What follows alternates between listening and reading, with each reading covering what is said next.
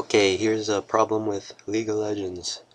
This is what happens when you try to sign out of that lobby. And uh, you get this, now ignore the background, ignore it. And then all this is all you have to do to fix it, just try to open again. I have it run as administrator, you don't need that, it doesn't do anything. It doesn't seem, ignore the background. And it, it says there's already one running but there's nothing running. So uh, say okay anyways. And it might work. Oh, it looks like it works. Alright, well, well, well, if that doesn't work, this is all you have to do. Ignore the background. Control, Shift, Escape. And now you look for LOL, anything with LOL. Uh, here.